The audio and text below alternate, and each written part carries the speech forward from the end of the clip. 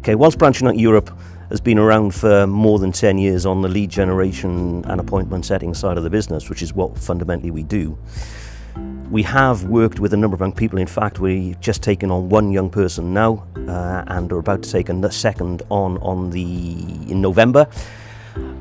And what young people bring to this is new ideas, new ways of thinking.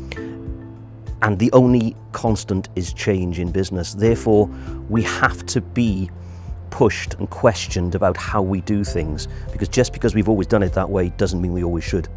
Uh, the youth of today are the people actually bringing the systems to us and the ideas and the innovations.